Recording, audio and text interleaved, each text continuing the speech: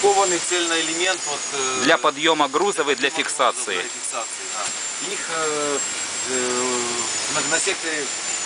И это вы хотите открыть к празднику, да? Вот этот Это вот да, уровень вы хотите весь всё, открыть да. к празднику. Ну, Просто у нас одна проблема. Видите, у нас стоят леса, когда собирали леса, немножко как бы, э, ну, так, ошиблись, нельзя было их опирать на э, медные свесы. Когда бы мы это все сделали, как бы и Просто не про- неграмотно разместили, да, раньше? Да, первоначально Спешили, да? да, в спешке несколько как бы не, не сориентировались. Но это же не принципиально Нет, фактически. не принципиально, но это уже большие неудобства, когда мы разбираем их, получается не на что нам опереться, и мы будем работать как бы в очень неудобных условиях. Все равно сделаем это, но как бы могли бы ну, сделать А это что, тепловая пушка, да? Да, это тепловые пушки. Мы этими пушками грели здесь поверхность, ну, чтобы производить работу. Вот так. необходимой для вот, э, Держимся за кольцо. видите, да, помощнее кольца находятся ниже.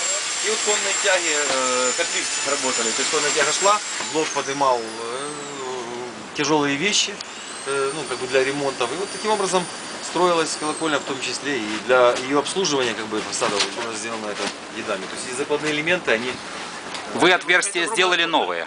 Э, Да, да, да. Это фрагмент громоотвода, который уже выполнен вот сейчас подкрашен под цвет как бы.